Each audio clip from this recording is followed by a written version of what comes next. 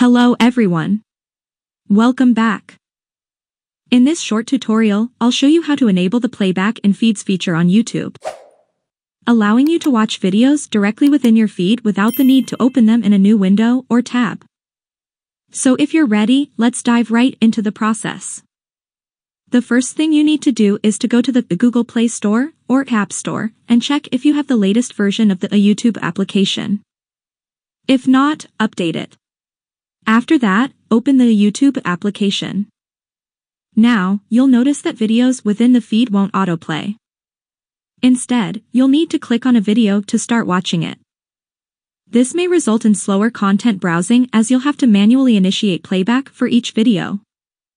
If you prefer to avoid this, tap on your profile in the bottom right corner of the screen, then tap on the gear icon in the top right corner of the screen to open settings.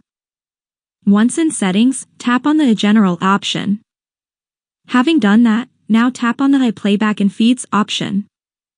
Here, you can choose one of the two options that suits you. If you select always on, it means that videos will autoplay regardless of whether you're connected to a Wi-Fi network or using mobile data. If you choose the Wi-Fi only option, videos will autoplay only when you're connected to a Wi-Fi network, not when using mobile data. I'll choose always on. Now go back to the feed, and you'll notice that the videos autoplay. That's it for this video.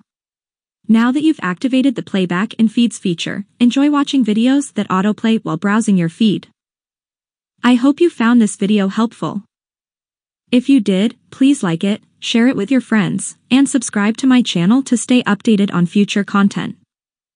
Thank you very much for watching, see you soon.